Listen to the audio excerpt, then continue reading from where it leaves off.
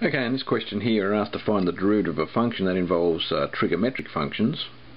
Uh, you'll see in this particular case here the function is y is equal to x squared cotangent x minus 1 on x squared.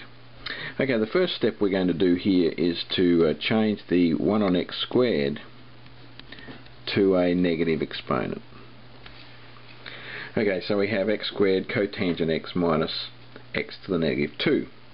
The next thing you should notice is that we actually have the product of two functions, x squared and cotangent x. So this will require the use of the product rule. So dy dx is going to be equal.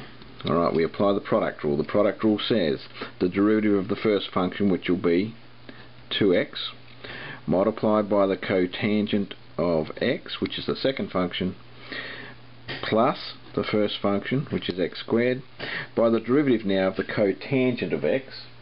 And the cotangent of x, of course, is going to be uh, negative secant cosecant uh, squared x. Okay, uh, and you can find that on page uh, 138 of the textbook where it uh, gives you a list of the uh, trigonometric derivatives. Now, we next now have to find the derivative of x to the negative 2. We bring the negative 2 down, that's the power rule. x to the negative 3 when we take 1 off of the off the uh, exponent. Alright, so this is what we have now. Notice, alright, we have used the product rule, okay, and we've used the power rule in this uh, um, derivative.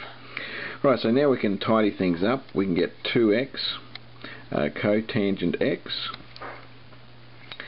Uh, minus x squared cosecant squared x. And then we're going to have plus 2 over x cubed. And that will be our derivative.